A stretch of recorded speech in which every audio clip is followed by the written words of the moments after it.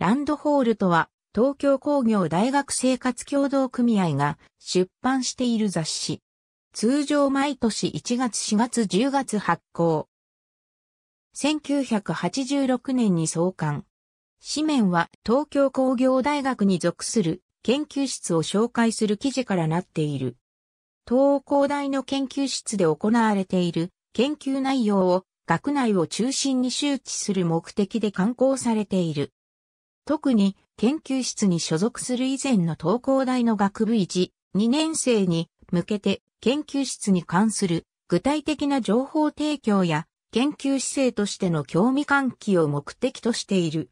いわゆるフリーペーパーとして学内で無料で配布されている。発行費は大学生協の組合費で賄われているが、非組合員や学外の人でも購読が可能である。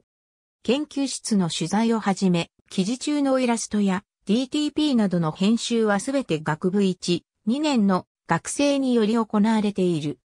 編集委員は毎年4月に募集しており、東工大の学部1、2年生であれば誰でもなることができる。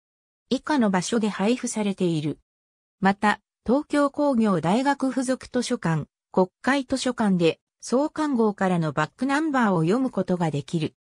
蒸気以外にもウェブサイトにて、すべての観光号を各研究室ごとに PDF 形式で読むことができる。